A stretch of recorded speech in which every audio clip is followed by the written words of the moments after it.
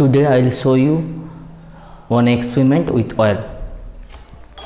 For this I need two beaker, one large beaker, one small beaker and some that edible oil.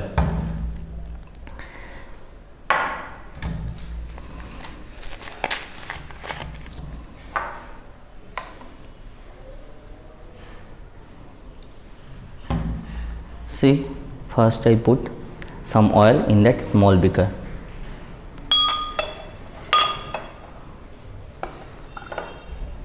and slowly put it inside that large beaker.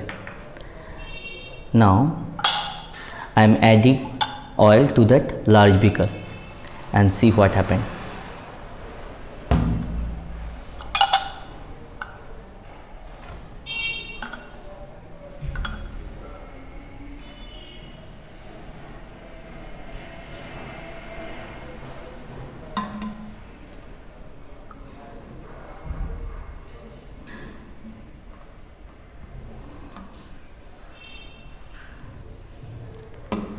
See that small beaker it become invisible.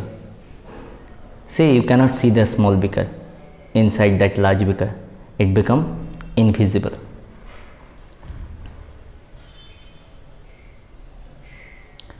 Now what is the science behind it?